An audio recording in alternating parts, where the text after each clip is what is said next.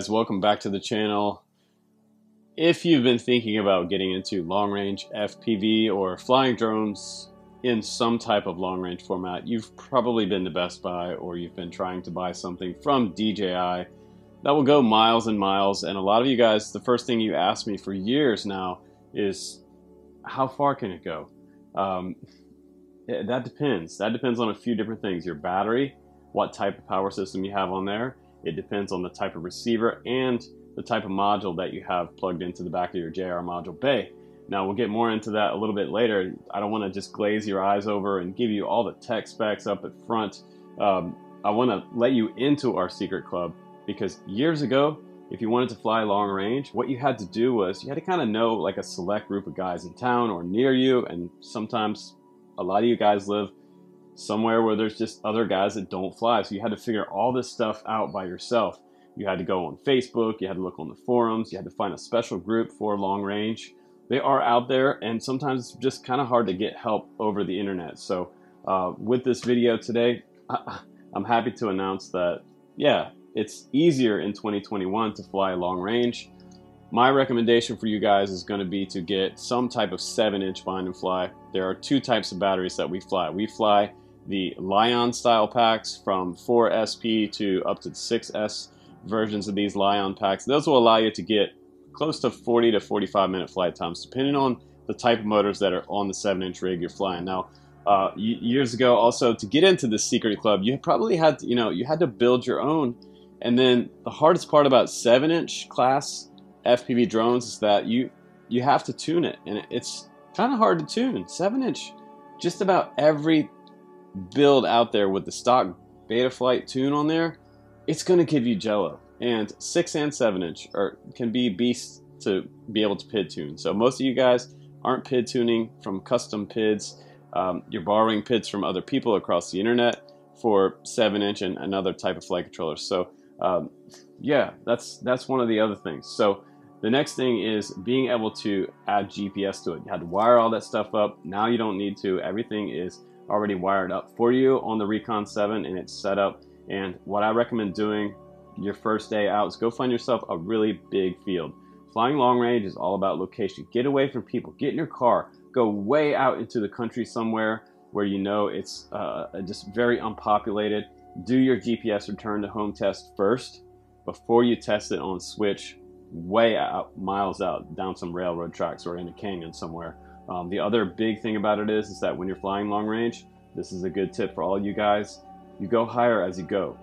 That's one of the main rules of long range FPV. You go higher as you go. If you get above 400 feet, you're probably breaking the regulations. Um, so uh, with that said, the reason that you want to go higher as you go is that your signal needs to have a clear line of sight between you and the radio.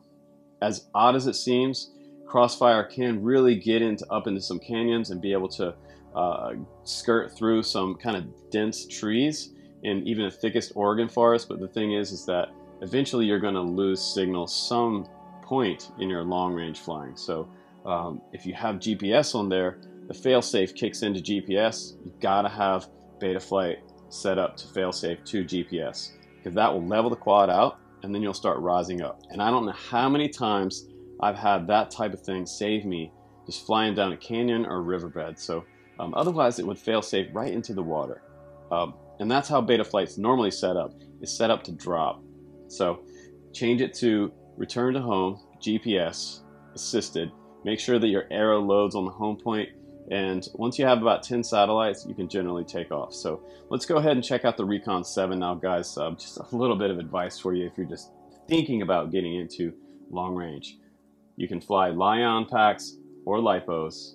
So if we're looking at a LiPo on this one, I would suggest somewhere around a 6S 3000 milliamp battery. It's going to get you an upwards of 20 minutes flight time on this quad, or the Li-Ion 4SP 6000. Yeah, you can do 4SP on this quad.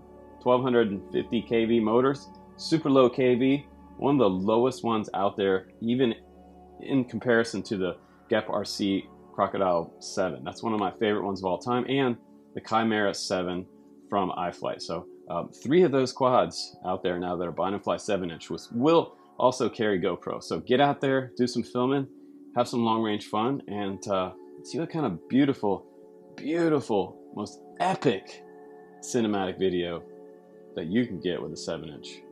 Let's go ahead and do a little testing. No GoPro today, straight FPV camera because I want you guys to see the tune. It's not perfect, but it's pretty good. Here we go.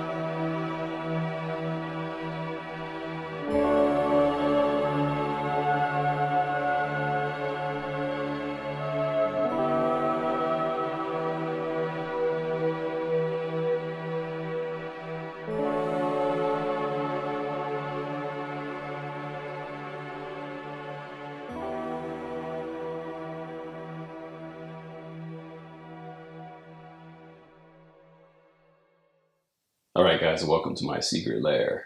That's right, my secret lair. This is the Rekon 7. It is built for long range FPV, and you can get this one in two ways. You can get in the analog version. The analog version, you guys, is actually pretty cheap. It's 339 and that is PNP. That's without a receiver. If you want to add Crossfire to it, you can do that. And what's super cool is you can get this one from the factory with Crossfire diversity. It has a nano receiver on here, so there's an antenna up front on the vertical, and then there is one in the back laterally across the quad. So you have the ultimate reception back to your crossfire module. Now this one is not set up for um, tracer. It doesn't look like they have a version for tracer. You could add a tracer receiver on there if you want. Um, those are nice, but I think it's a pretty decent price at $339 for the analog version. I mean, this is a big quad. We're talking about a Bind and Fly 7 inch here. This is no $300 5 inch quad. This is like a pretty good value. So um, if you want the, the full blown DJI digital, if you're that guy, that one's going to cost you 550 bucks. Long period of silence. Yeah, I know. Um, $500. Not everybody's going to go out and spend 550 on a Bind and Fly. However, it's going to serve you better than something like the DJI FPV drone. And yeah, by the time you add a GoPro in there, you're going to be up to a $1,000 and it's going to be around the same cost. However, this is superior to the DJI FPV drone. I've said it before. I'll say it again. It is superior. Hands down, all the guys in the FPV community that are pretty hardcore long range FPV guys, most of them are flying this. They might own an FPV drone from DJI just for funsies, but this is where they get serious. And the cool thing about this one is that it has a pretty good receiver on here. Um, it has that TBS Crossfire Nano Diversity receiver, like I mentioned. It also has the capability to do two different types of batteries. You can do Li-Ion packs. This is my 4S P uh, 18650 7000 milliamp battery. That's going to get me an upward past 30 minute flight time. And I can get 20 minutes out of like 6S 1800 pack back there. Um, if you want to go like 6S 3000 milliamp, you can also do that too, and that will get you up in the 25 minute range. That's what I would probably go for um, if I were you. So TBS Crossfire full blown module or the new Tracer, that's the way to go with this setup. Um, absolutely hands down. That's my biggest recommendation for you guys. And fly Li-Ion on here because they've built this power system with 2806 motors, 2806.5 1250 kV. 1250 kV is lower than the GEPRC Crocodile 7. I, I don't think they had 1250 on there. So I think this is the lowest kV motor and one of the larger motors out there. So they went bigger, but they went lower on the kV. So that lets us have a little more power when you want it and have a nice, smooth, low amp draw motor. And that's what you're looking for in long range. One of the goals of long range when you're flying long range is to find that lowest stick position that you possibly can to keep the nose up. Say 40% or 35% throttle. If you can achieve that with a 7 inch, you're doing really well. Now, I also got to give a head nod to Dave C. FPV for this design. This is his design frame, and it is looking pretty sexy because we almost have a straight, just a little bit of bend in those front arms forward, not much. I can just barely see the props in the side view. Um, yeah, I think if they were straight across in the front, you can see how they bend forward just a tiny little bit. Um, that would probably get these props out of view. I mean, just barely in the FPV camera view, but most of you guys are recording with GoPros and you will absolutely not see the props in the GoPro view. So put a GoPro on there, put the Insta360 R on there, um, do some 360 videos with it. Either way you want to go, you can have fun with that. And you can make some seriously cool cinema type videos. So um, also, you know, again, this is a seven inch frame. It's a 324 millimeter wheelbase from motor to motor. Uh, it does have a 3 to 6S LiPo. I don't know why you'd ever run a 3 on here, but you can do 4S, 5S, and 6S. So you have a pretty good range of batteries. Yes, you can fly 4S on these motors. Um, you're just going to have way lower throttle at the high end of the throttle. So it's going to feel less punchy than on 6S. 6S is going to feel great. If you're going to freestyle this, I don't know why you would, but you could do that on a LiPo. And I would not ever, never, never, never try to freestyle with a Li-Ion pack like back there. So um, uh, I think that one's the one to fly on there. The 7,000 milliamps. You can find the 6S version of that pack from Zod. That's the one to get. I'll link some batteries down below for you guys for Li-Ion packs. Um, these are cruisers. They're not freestylers. I mean, if you're freestyling a 7 inch, I'd love to see your videos. Send them to me. You're a crazy man. So, um, 800 milliwatt Zeus VTX in the very back. It's also big enough for the Caddx back there. You can add a Caddx if you want to. And it also has an upgraded GPS unit in the very back. I was getting around 10 satellites with this GPS unit. It's larger than some of the other ones out there. This is an M80 Pro GPS, by the way. So, um, 5 volt power supply. It's 25 by 25 millimeters back here. It has a TPU mount in the back with the Immortal T back here. It also has two extra post holes if you want to add anything extra back here. We've got a long range antenna, which is a super tall one.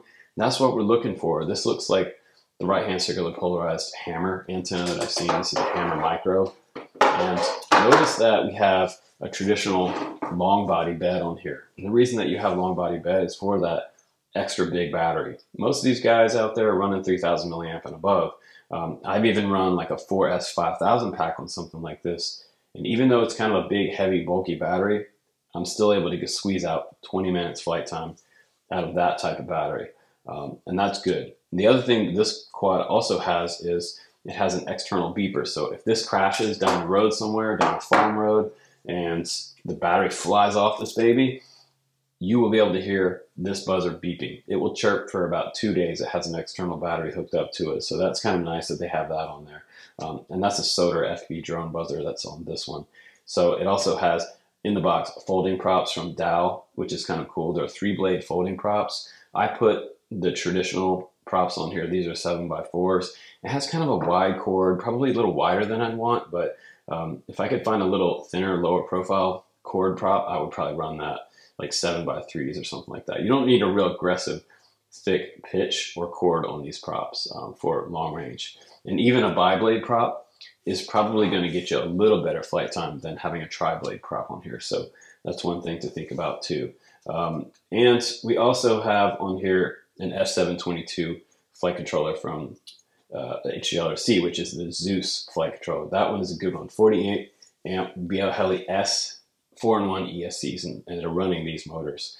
Um, so I think overall we have a, a great release and I think it's a great competitor to the GEPRC Crocodile 7, which is my favorite of all time. Also, the light version of the Crocodile 7 came out. But this one is turning heads, and I've been wanting HGLRC slash Rekon FPV to come out with a 7 inch since they have released the 3 inch, the 4 inch, the 5 inch. I mean, we've had long range quads in every single size from Rekon FPV yeah, the six is really good. If you want to grab a six, grab a six. I'll link that one down below. But I, what I would suggest, get the seven. Tell me about it later. You're gonna love it. Um, this is two thumbs up for me, and I've been waiting for this for quite a long time. This is like serious, serious Sendit rig. This is a mountain surfer that you can trust and that you not likely to have to go walk and hike in and pick up if you crash um, because this has GPS on it. Set up your GPS return to home. Field test it first before you go out. And try not to hit anything when you're flying miles out. Um, keep it high and, and keep a line of sight between you and your transmitter, and everything should be good. If not, um, you had probably some kind of component failure, and that's sad for you, but it does happen. So, thanks again for watching my channel, guys. Um, make sure you comment and subscribe and send me an email on dronecamps.com on the contact page if you want to get entered to win the FIMI Mini X8. That's coming up really soon. Maybe even in a couple days, we're going to give that one away. And then we're going to announce the next giveaway for October. So, uh, yeah, dudes, give me a like if you like this video and you enjoyed drone camps and the channel. Thanks again for watching, guys, and I will see you on the next one. Peace out.